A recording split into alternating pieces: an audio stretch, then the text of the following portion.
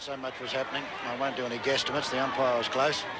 And so it all came down to round 22 in 1977, with all five finals berths still up for grabs. The only team capable of breaking into the top five were the sixth-place Swans. They had to beat the third-place Kangaroos at Arden Street to have any chance of sneaking into September. For North Melbourne with this wind.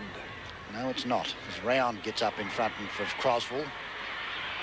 Picked up by Round, and by the roar, it was close. It was through. He's looking for uh, Nolan.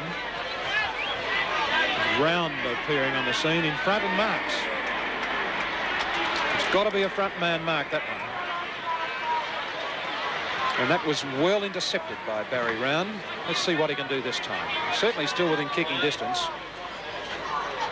But it's not going to make the scene. Oh, Gumbleton, a beauty! Back to Hoffman. Hoffman has Browning free.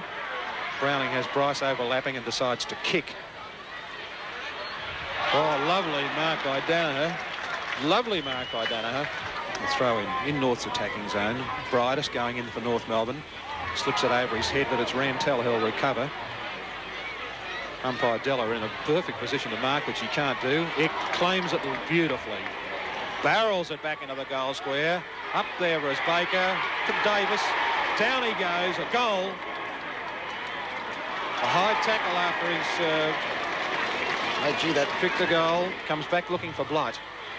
Blight and Icke, and that was good football, Malcolm Blight, to let uh, Stephen Icke go past because he had the run of the ball. Baker and Scarlett again. Oh, a, ma a magnificent mark. A one-hander by John Scarlett. Gumbalin over in the Blight direction. Casson in there. Blight can't pick it up, but he knocks it nicely to Schimmelbusch.